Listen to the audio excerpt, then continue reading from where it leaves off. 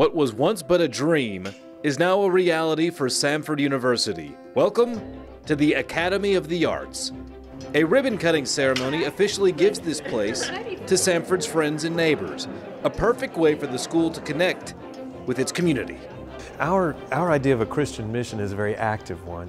And being that, we needed a place where we could take our arts outside the gates of Samford University and connect with our community. And so this is a place where our faculty, the staff, and even our students can be engaged in teaching art and music and theater and uh, creative writing, photography, uh, culinary arts, so many different things.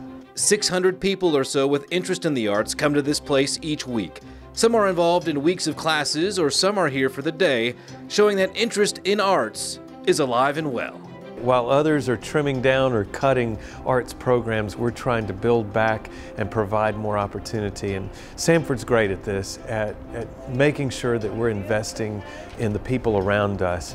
And I think this is just a great example of the ideals of Sanford come to life as we reach out to Birmingham, to Homewood, to the community around us. And we hope that there'll be just hundreds and hundreds of people whose lives are affected here each and every day. The Academy's home features private suites that house musical instruments. And whether you're a beginner, a seasoned pro, an amazing artist, or one that's just getting there, it smiles all around for anybody at any age. These are opportunities for anyone in the public to come and to join us.